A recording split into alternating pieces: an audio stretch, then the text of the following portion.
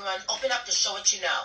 Antonio, are you eating? Yes. Who told you that you can eat in my class? Um, my stomach. well, eating isn't allowed in my class. Um, when did my room become your class? Antonio, I said stop eating. Oh, you know what? you're right. You want some?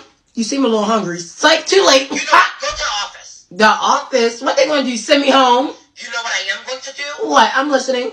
Call your mom. Go right ahead. Call her. Who, who's this? Hey, girl. I bet you're still hungry.